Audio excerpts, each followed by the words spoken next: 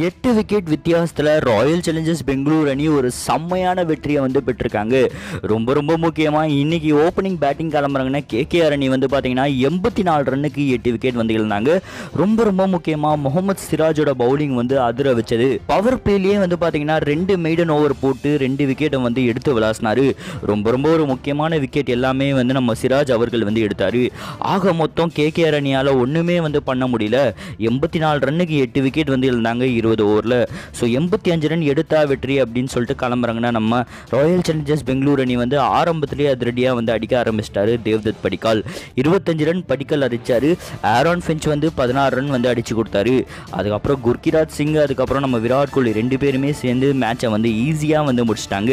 ரொம்ப ரொம்ப இன்னைக்கு பர்ஃபார்மன்ஸ் தாறுமாறாக பண்ணது முகமது சிராஜ். அவரோட பவுலிங் வந்து ரொம்ப தரமாக இருந்தது. ஸோ சீரியஸாக வந்து யாராலையுமே வந்து நம்ப முடியல. ஸோ சிராஜா இப்படி போட்டார் அப்படின்னு சொல்லிட்டு ஏன்னா நாலு ஓவருக்கு வந்து எட்டு ரன் மட்டும் கொடுத்து மூணு விக்கெட்டை வந்து வீழ்த்தியிருக்காரு முகமது சிராஜ். ஸோ இன்னைக்கு இந்த போட்டியில் வந்து ஆட்டநாயகன் விரதையும் வந்து நம்ம சிராஜ் அவர்கள் வந்து பெற்றிருக்காரு. ரொம்ப ரொம்ப ஒரு தரமான இன்னிங்ஸ் வந்து ராயல் சேலஞ்சர்ஸ் பெங்களூர் அணி வந்து பெற்றிருக்காங்க.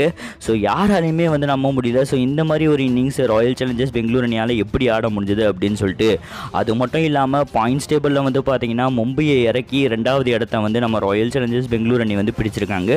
கண்டிப்பாக ஒரு பயங்கரமான ஆட்டம் அப்படின்னு சொல்லிட்டு சொல்லலாம். ஸோ நீங்கள் என்ன நினைக்கிறீங்க அப்படின்னு சொல்லிட்டு உங்கள் கருத்தை மறக்காமல் கமெண்ட் பாக்ஸில் கமெண்ட் பண்ணுங்கள் இன்னும் நம்ம சேனலை சப்ஸ்கிரைப் பண்ணலாம் மறக்காமல் சப்ஸ்கிரைப் பண்ணுங்கள் அப்படியே பக்கத்தில் உள்ள பெல் பட்டனை சேர்த்து டங்குன்னு ப்ரெஸ் பண்ணுங்கள் ஸோ நன்றி. ஜெய் ஹிந்த்.